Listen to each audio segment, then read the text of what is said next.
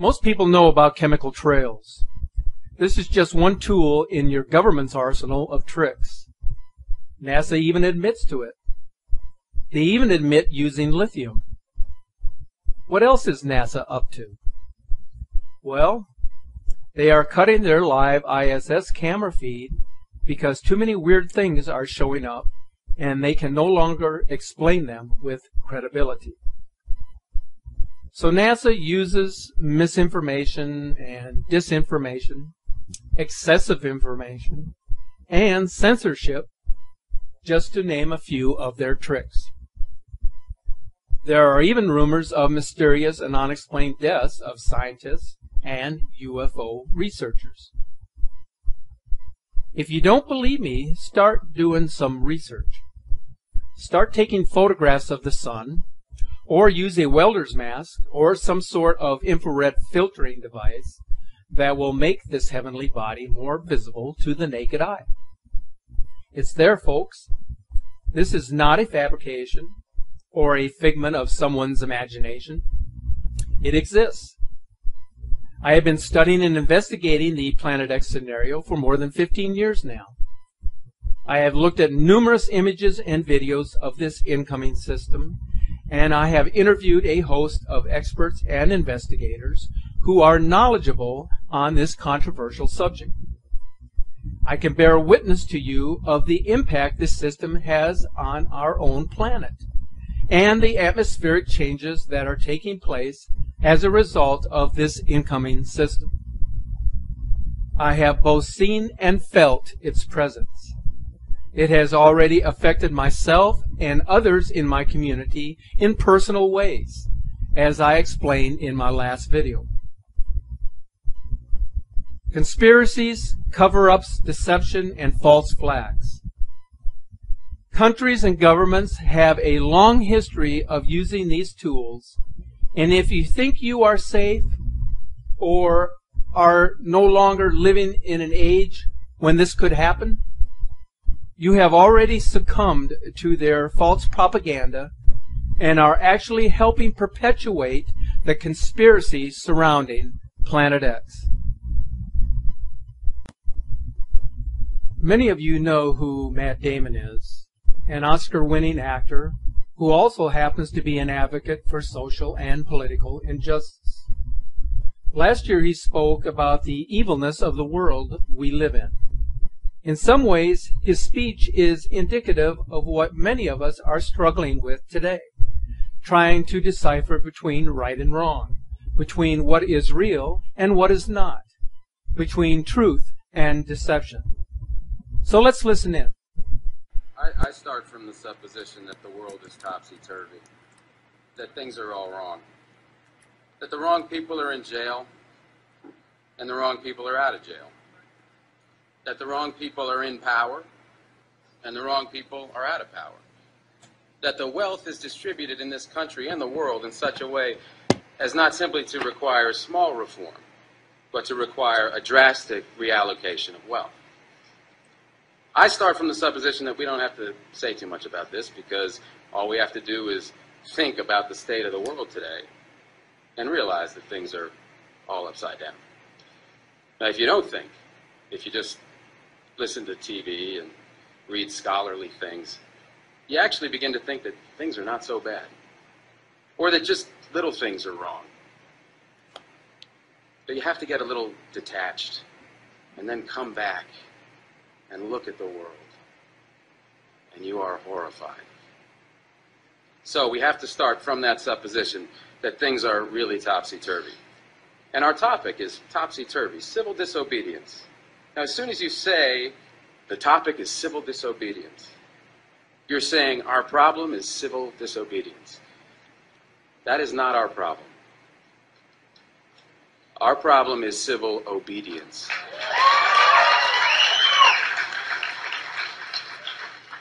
Our problem is the numbers of people all over the world who have obeyed the dictates of the leaders of their government and have gone to war. And millions have been killed because of this obedience. We recognize this for Nazi Germany.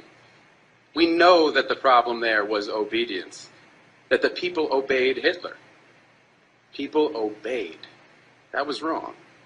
They should have challenged, and they should have resisted. And if we were only there, we would have showed them. Even in Stalin's Russia, we can understand that. People are obedient.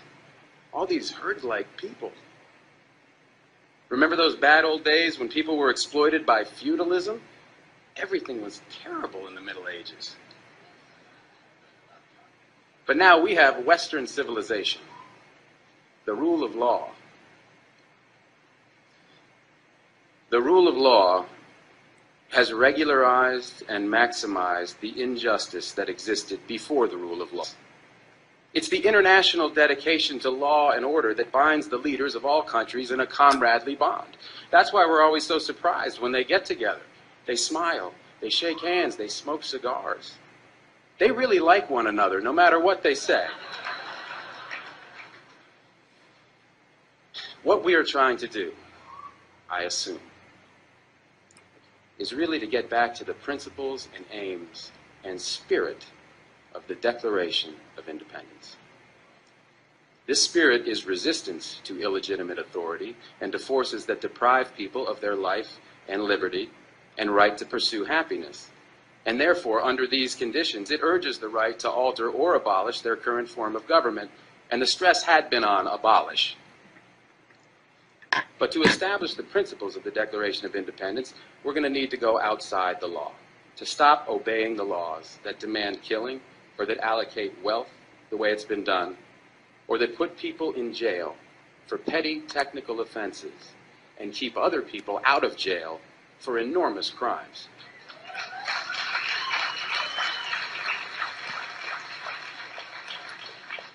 My hope is that this kind of spirit will take place not just in this country, but in other countries, because they all need it.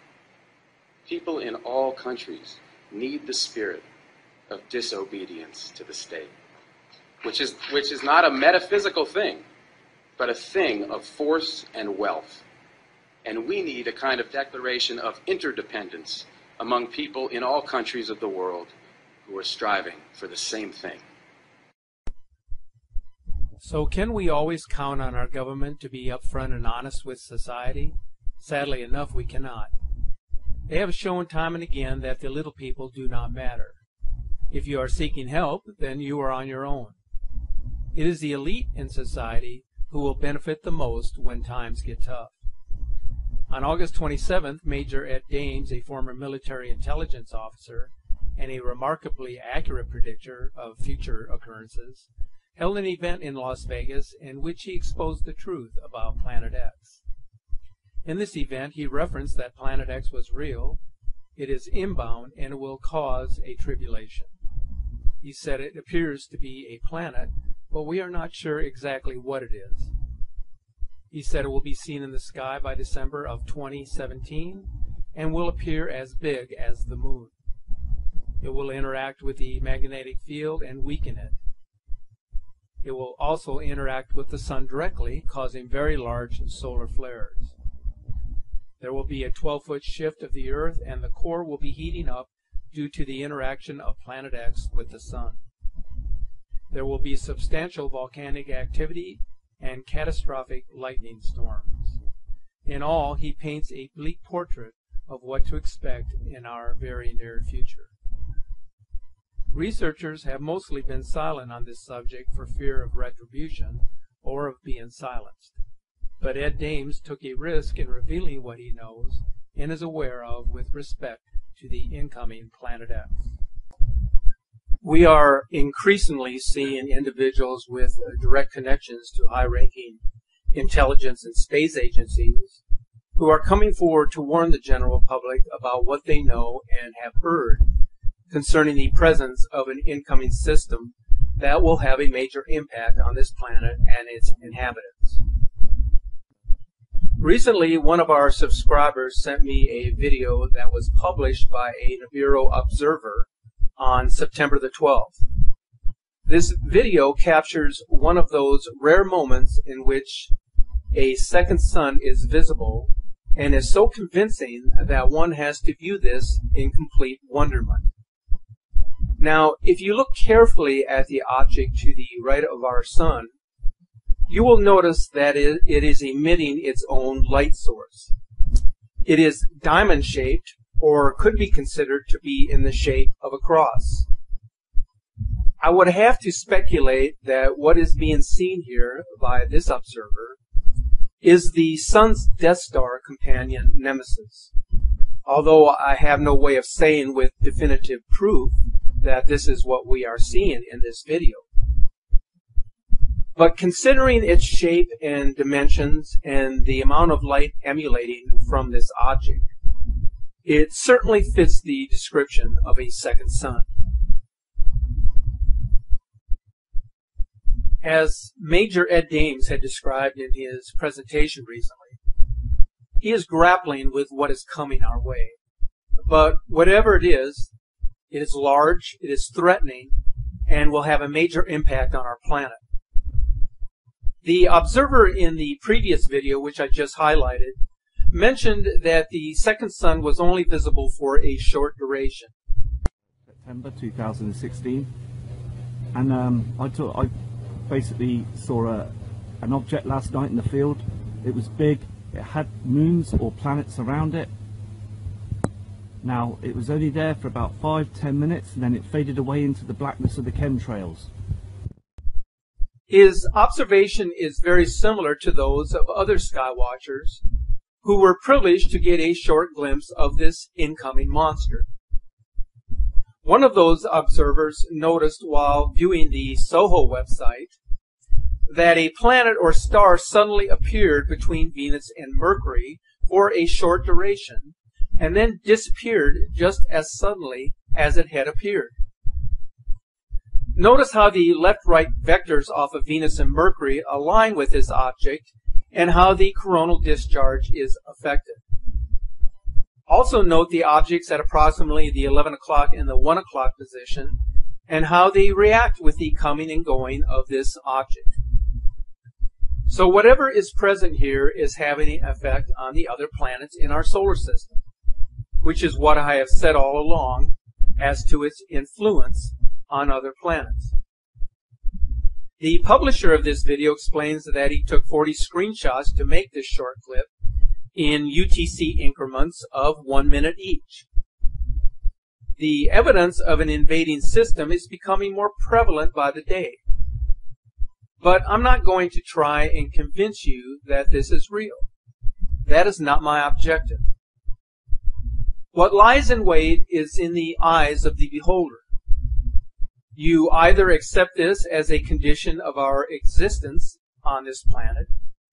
After all, if you are to believe the Sumerians and the Egyptians, then you are aware that this is not the first time that Planet X has made a passage across our bow.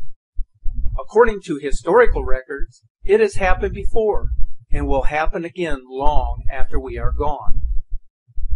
Its passage is supposedly a part of the natural cycle of life on this planet and across the universe. All things are created and all things must die. But believe this, we are living in perilous times. You don't have to venture very far from home to realize that we face many dangers, some of them which are man-made, but many of which are the result of cosmic forces which are having a direct impact on this planet and our very way of life. So, as I have said before, your best defense is to keep looking to the skies, for therein lies the answers to your mortal and spiritual welfare.